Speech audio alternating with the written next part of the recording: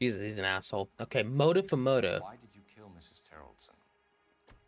I have no recollection of the people I have killed. That's a lie.